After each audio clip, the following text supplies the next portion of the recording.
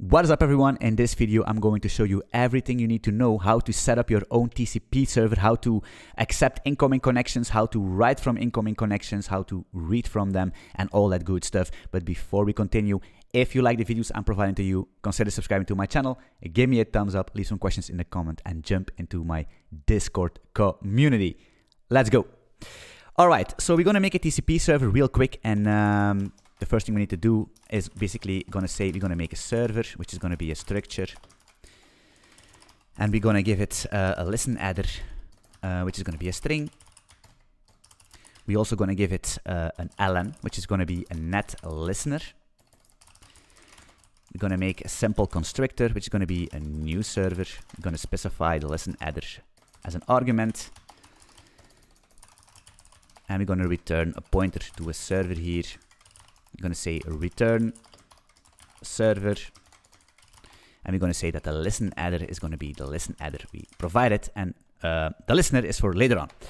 So that's basically a new server. We also going to make a simple function, which is going to be s server start, which is going to return an error, right? We're going to start the server. What we're going to do here is basically say um, that the ln or the error is going to be net listen from the standard library, we're going to listen to TCP, of course, and then we're going to specify the listen adder from the server, and if the error is not null, we can actually just return the error. All right, and then uh, if everything is all fine, we're going to say that the listener of the server is basically the ln. Uh, what you could do uh, is also a defer here. You could say ln close, right? If the start is closing, uh, is, is basically returning, then we're gonna close the listener, right? Good practice. Okay, cool. So what I'm also going to do here is basically make a quit channel, which is going to be a channel of an empty struct, right? Why an empty struct? Because an empty struct will take no memory. So we're going to say that the quit channel is going to be make me a channel of an empty struct, just like that. That's fine. And what we could do, what's going on here? What we could do is basically just wait here. We could do it in a different ways, but just for simplicity, I'm going to say we're going to wait for the quit channel. And if that's done, then we're going to basically return null. And if the quit channel is basically closed or something, um, then we can defer this listener and everything is getting cleaned up. All right, the next thing we're going to do is um, make an accept loop, right? Because we're going to accept uh, connections. So we're going to make an accept loop. And in this case, we're gonna do this. We're gonna say for, because it's a loop, right? Uh, for com error is going to be uh, sln accept. And if there is an error, very important here, what we're to do is actually we're to just log out the error, um, println, accept error or something, just like that, and then pass in the error. We and you could return here, but the problem is if we return here, then we cannot accept any more connections. So the best thing to do, what I'm always doing, is just a continue here, right? So accept will basically create a connection, right? If somebody is dialing us, somebody want to connect us, we're going to accept that connection. And uh, yeah, that's basically this dude here on the other side. So we're going to make another function, and that's going to be a server, and we're going to call this read loop. And we're going to give that connection inside of it just like that. Because each time we have a connection, right? Each time somebody is connecting to us, we need to uh, spin up another loop so we can read from that connection and also write if we want, right? so the read loop, basically, what I'm always doing, depends basically on your uh, protocol, uh, is basically make a buffer. It's going to be make me a slice of bytes, uh, let's say 2048 or something. Could be less, could be more, depending on uh, what the size of the messages you're going to send. Just make it big enough. And then we're going to say for, we're going to loop here. And what we're going to do is we're going to say that the number of bytes we are reading, the error is going to be connection, read everything into this buffer. And if there is an error, and that's not null, we are gonna, yeah, just print this guy out, print the error out, print a ln read error or something uh, like this. And then you could actually choose, uh, depending on the circumstances, you could just return and close the connection and drop it, or you could basically just continue um, because maybe they just malformed some message or something, right? In this case, we're just going to continue here. You should al also check for end of files and all that stuff, but that's out of scope. I have uh, videos on my channel basically making these things uh, completely from scratch. So check them out if you want to know more in depth about that. Uh, what we're also gonna do basically here is maybe we could say a defer uh, con close, right? That basically makes sure that if this function returns, we're gonna close the connection and clean everything up. All right, so then we could say that the message, basically, the message uh, the guy is sending is basically the buffer, right? And only the buffer what we have read, because most of the time they're not going to send uh, that large of a message. It could be maybe just a hello world or something. So we're only going to say that the message is going to be um, the amount we read from from uh, from from our buffer, right? And then we could say uh, println. For example, we're gonna print the string of the message, right? Because this is a, a bytes, it's byte slice, so we're gonna make it a string so we can actually read it as a human. Cool. I think, uh, yes, now in this accept loop, what we're gonna do, we have this com, and then we're gonna say go as uh, read loop and we're going to pause in the connection. Just like that. Right, so each time we're going to accept, and each time we have a connection, we're going to spin up a new Go routine so it's not blocking, right? So we're going to handle each connection in its own Go routine so we can have millions of connections without any issue. Yes, I think we are set up to do our first test. So we could say that the server is going to be a new server. Uh, yes, new server. We're going to give it uh, the holy grail of ports, which is 3000. Then we're gonna say server start, just like that. And let's do a go run main.go. Wait, I think we have some issues here. Are we? Um, this is fine. Read loop, continue, start. What's going on here? Did I not save it? Am I trash? We make this chance struct. Yeah, yeah, yeah. Maybe there is an error actually. TPC! What am I doing? TCP. And actually it's my bad because what we should do here is basically do a log fatal or something. Uh, so we can actually see what's going on. Right? My bad. Sometimes, hey. Boom. So basically now our server is started, right? It's, it's basically booted up. It's listening to 3000 waiting for connection. So what we're going to do is I'm going to open up this terminal here. And I'm going to say, uh, I'm going to use telnet real quick. I'm going to say telnet uh, localhost 3000. Boom. Actually, to be honest, guys, what I'm going to do real quick is show you this, right? Because, um, yeah, here. So each time we accept, right? Each time we accept here, and there is no header here, it basically means there is a new connection. I'm going to print that out so you guys can see.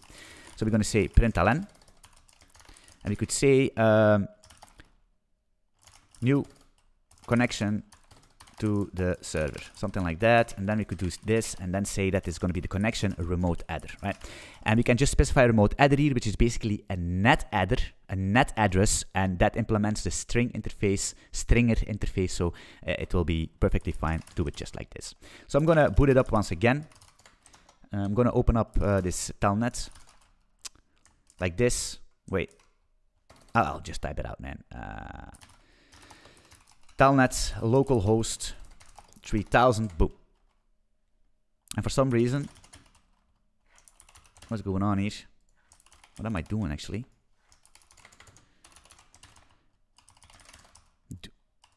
Oh, another another mistake. Um, it's so so sorry. It's my bad. So basically, uh, if we start here, what we're gonna do is basically say uh, we're gonna spin up a new Go routine. We're gonna say Go as accept loop. Man, what, what the hell am I, am I doing? That's the only thing we're gonna do. So we're gonna spin up this accept loop so we can actually accept connections. it's still early. My bad. Uh, go to the middle. Go boom like this, and then. Um, Yes. All right. Now everything is fine, right? You see, hey, I'm doing this uncut and raw, so you can see, you can see uh, me making the mistakes, so you are not need to make the same ones. Okay. So it's working fine. So we basically uh, set telnet and to localhost 3000, which will basically create a new connection to our uh, own custom uh, TCP server. Where is my um, yes here? So then we can actually start sending messages, right? You could say uh, hello world, boom, of word, whatever, uh, hello sailor you see, we are we can send messages, we can communicate between uh, servers, right? That's the first thing.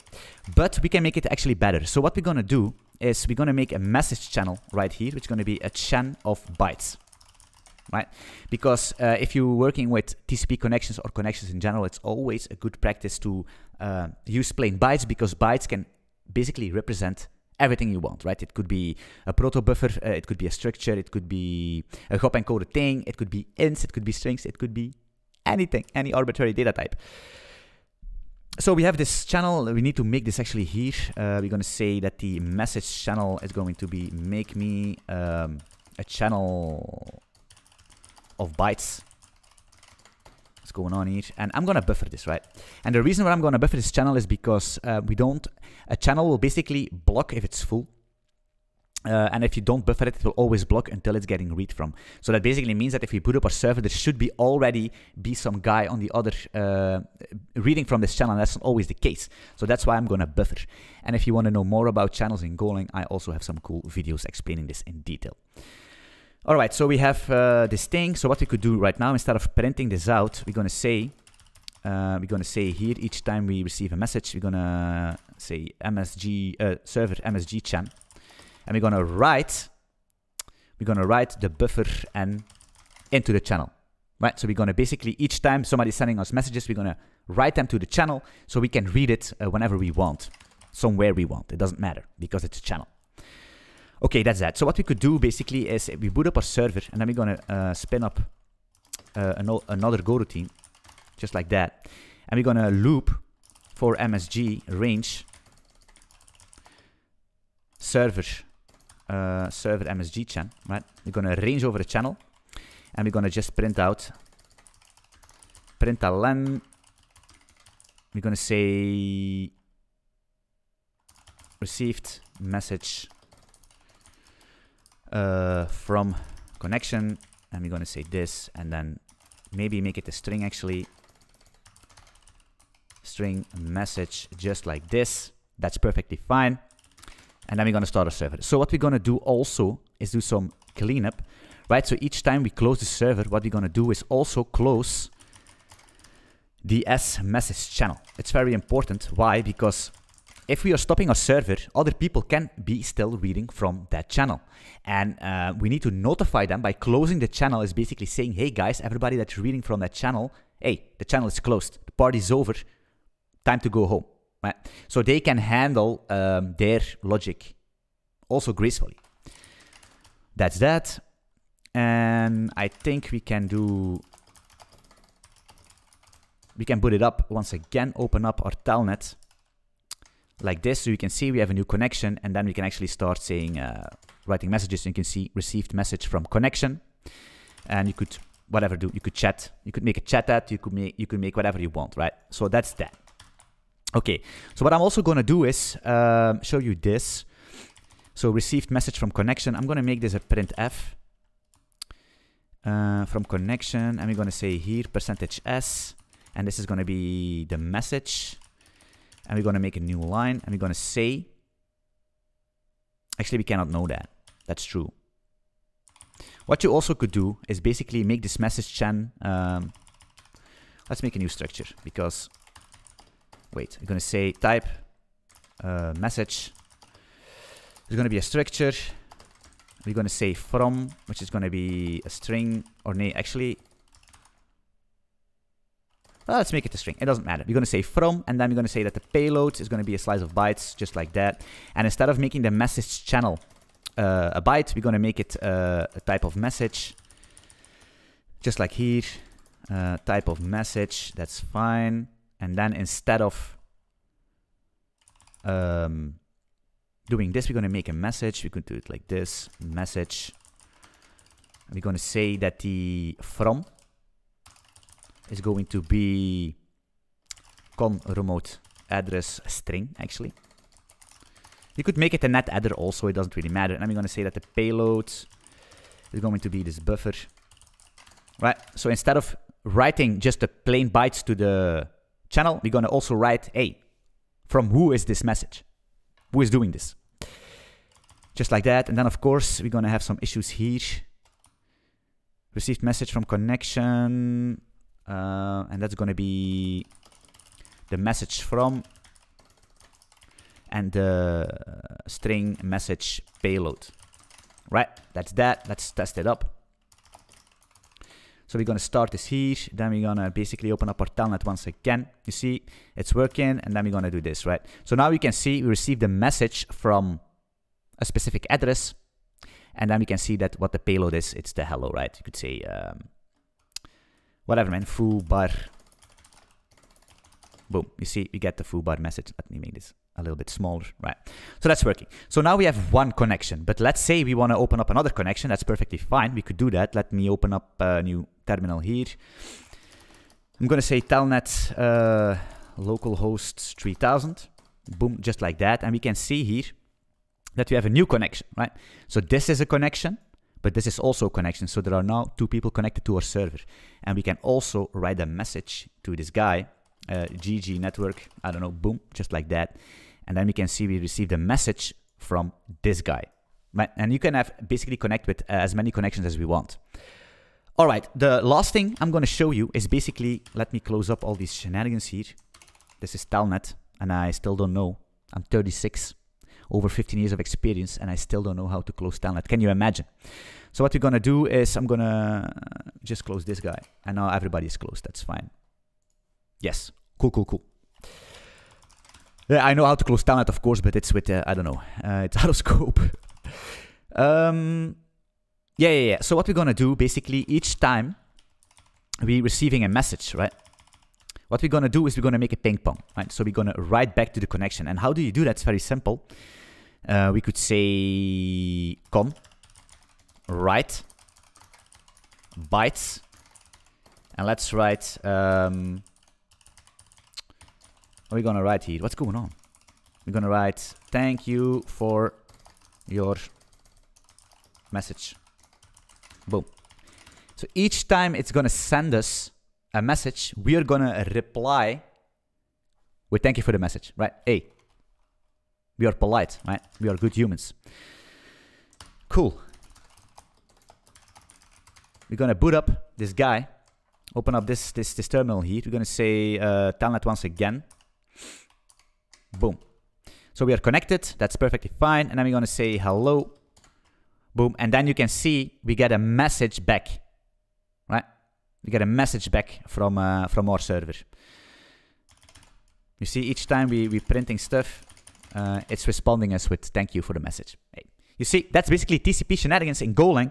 Uh, not big of a deal, but of course you need to know how to structure stuff and how to make things uh, somewhat idiomatic. And this is basically my approach. I always use the same pattern over and over, an accept loop, a read loop. Um, and what, what I also a lot of times do is basically make here um, in my server is basically maintain a map of connections, right? It's important. Um, uh, you could say peer map or something.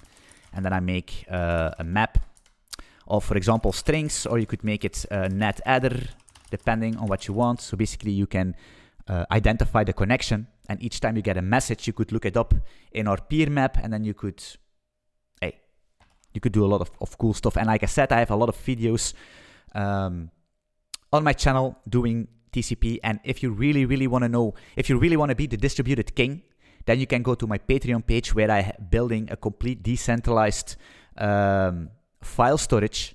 And we are also building a complete peer-to-peer -peer lib inside of that um, inside of these videos, right? 17 episodes, so you could check that out if you want. Right, so that's basically uh, what I want to show you, how to make a TCP server. You can make it as complex as you want, but this is everything you need to know to get started. If you liked these videos I'm providing to you, please consider subscribing to my channel, give me a thumbs up, leave some questions in the comments so we can boost this video up into the YouTube algorithm, jump into my Discord community so if you have questions, I can single-handedly respond to you. Thanks for watching this video and I'm looking forward to see you in one of my future live streams or videos. Bye bye.